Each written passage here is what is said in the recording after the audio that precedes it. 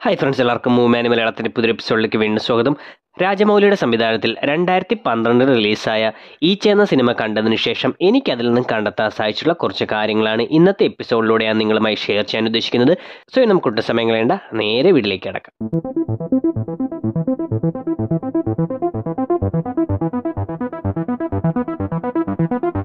സിനിമയുടെ തുടക്കത്തിൽ ഒരച്ഛൻ മകളോട് കഥ പറയുമ്പോൾ ദുഷ്ടനായ ഒരാളെന്ന രീതിയിൽ സുദീപ് എന്ന പേര് പറയുന്നുണ്ട്.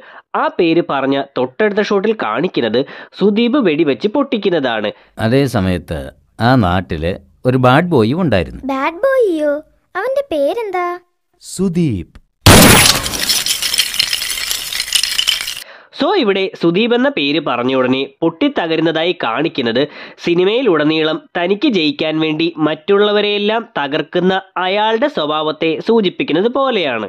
സിനിമയിലെ നായക കഥാപാത്രത്തിന്റെ പേര് നാനി എന്ന് കൊടുത്തത് ഞാൻ ഈ അഥവാ ഞാൻ ഈച്ച എന്ന അർത്ഥത്തിലാണെന്ന് നമുക്കെല്ലാം അറിയാം. എന്നാൽ ഇതുകൂടാതെ നായികയായ ബിന്ദു എന്ന പേരിനും സിനിമയുമായി നല്ല രീതിയിൽ തന്നെ ബന്ധമുണ്ട്.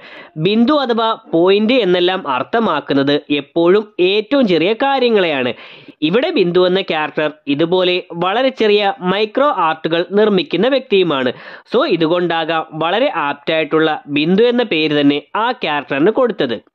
നാനി മരിക്കുന്ന ദിവസം നാനി ഇട്ടിരിക്കുന്ന ഷർട്ടിന്റെ പുറകിലായി life in the sun എന്നെഴുതിയിട്ടുണ്ട്.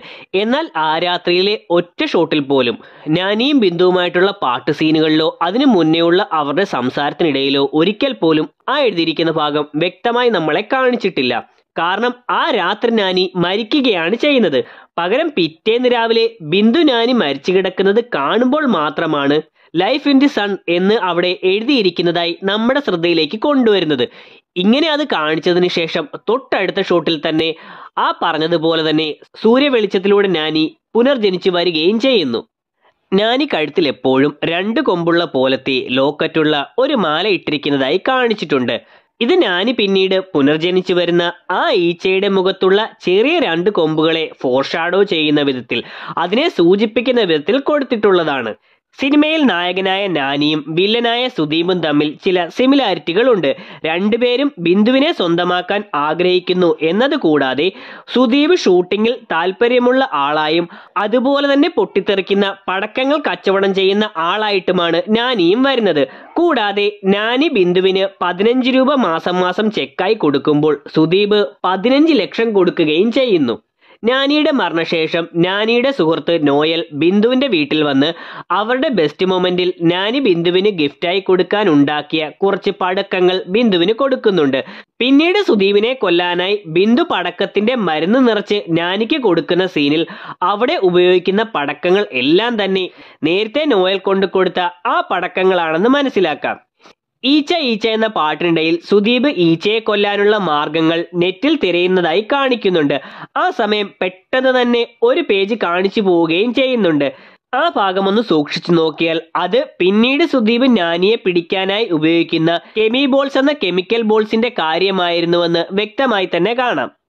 Sudeep ഈച്ചയിൽ നിന്നും രക്ഷപ്പെടാൻ വീട് മുഴുവൻ ഗ്ലാസ് കൊണ്ട് മറച്ച ശേഷം നാനി ആ കാര്യം ബിന്ദുവിനോട് വന്ന് പറയുകയും പിന്നീട് ബിന്ദു സുദീപിന്റെ വീട്ടിൽ വന്ന് ഒരു കൊയിൻ ഉപയോഗിച്ച് സ്ക്രൂ അഴിച്ച് നാനിയെ അകത്തേക്ക് പ്രവേശിപ്പിക്കുന്നുമുണ്ട്. ആ സമയം ബിന്ദു സ്ക്രൂ അഴിക്കാനായി ഉപയോഗിക്കുന്ന ആ കോയിനിന്റെ ഒരു ഭാഗം സ്ക്രൂ അഴിക്കുന്ന ആ ഭാഗം കുറച്ച് ചെത്തി വെച്ചിരിക്കുന്നതായോ ചതഞ്ഞിരിക്കുന്നതായോ കാണാം. സിനിമയിൽ ഈച്ചയായി മാറിയ നാനിയും ബിന്ദുവും തമ്മിൽ നല്ല രീതിയിൽ കമ്മ്യൂണിക്കേഷൻസ് നടത്തുന്നതായിട്ടും കാണിച്ചിട്ടുണ്ട്. അതുകൊണ്ട് തന്നെ സുദീപ് വീട്ടിൽ ഗ്ലാസ് ഇട്ട കാര്യം നാനി ബിന്ദുവിനോട് പറയുന്ന സമയം തന്നെ അവിടെയുള്ള സ്ക്രൂ അഴിച്ച് മാത്രമേ തനിക്ക് അകത്തേക്ക് പ്രവേശിക്കാൻ കഴിയുകയുള്ളൂവെന്നും അതുകൊണ്ട് തന്നെ സ്ക്രൂ അഴിക്കാൻ കൊയിനിന്റെ ഒരു വശം മുറിച്ചുകൊണ്ട് വരണമെന്നും നാനി ബിന്ദുവിനോട് പറയുകയും അതിലൂടെ ബിന്ദു ആ കോയിൻ ആ സ്ക്രൂ അഴിക്കുന്നതിനായി തന്നെ ആ രീതിയിൽ ചെത്തിക്കൊണ്ട് വന്നതാണെന്നും മനസ്സിലാക്കാം.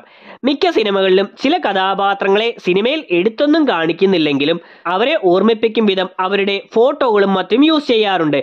എന്നാൽ ഈ സിനിമയിൽ സുദീപിന്റെ വീട്ടിൽ സുദീപ് അത്രയും കോടീശ്വരനാകാൻ കാരണക്കാരനായ മുൻ ഭാര്യയുടെ ഫോട്ടോ ഒന്നും കൊടുത്തിട്ടില്ല. മുൻ ഭാര്യയുടേതെന്നല്ല മറ്റാരുടെയും ഫോട്ടോ ആ വീട്ടിൽ കൊടുത്തിരുന്നതായി കാണാൻ സാധിച്ചിട്ടില്ല. സുദീപ് അയാളെ ഒഴിച്ച് മറ്റാരെയും സ്നേഹിക്കുകയോ മറ്റാരെയും കെയർ ചെയ്യുകയോ ചെയ്യാത്തത് കൊണ്ടാകാം ഇങ്ങനെ സ്വന്തം ഫോട്ടോകൾ മാത്രം അയാൾ വീട്ടിൽ വെച്ചിരിക്കുന്നതായി കാണിച്ചത്. സോ ദാറ്റ്സ് ഇറ്റ് ഇത്രയുമാണ് ഈ സിനിമ കണ്ടതിന് ശേഷം എനിക്ക് മനസ്സിലാക്കാൻ സാധിച്ചിട്ടുള്ള കാര്യങ്ങൾ. വീഡിയോ നിങ്ങൾക്ക് ഇഷ്ടമായിട്ടുണ്ടെന്ന് ഇഷ്ടമായിട്ടുണ്ടെങ്കിൽ ലൈക്ക് ചെയ്യാനും ഷെയർ ചെയ്യാനും സബ്സ്ക്രൈബ് ചെയ്യാനും ശ്രമിക്കുക. ഈ വീഡിയോയെക്കുറിച്ചുള്ള നിങ്ങളുടെ അഭിപ്രായങ്ങളും ഇതുപോലെ തന്നെ ഈ സിനിമ കണ്ടതിന് ശേഷം നിങ്ങൾക്ക് നടത്താൻ സാധിച്ചിട്ടുള്ള കാര്യങ്ങളും ഈ വീഡിയോയുടെ കമന്റ് സെക്ഷൻ ഉൾപ്പെടുത്തുക. അടുത്ത എപ്പിസോഡിൽ കുറച്ച് സിനിമാവിശേഷങ്ങളും കൂടുതൽ അറിവുകളുമായിട്ട് വീണ്ടും കണ്ടുമുട്ടണം വരെ. ബൈ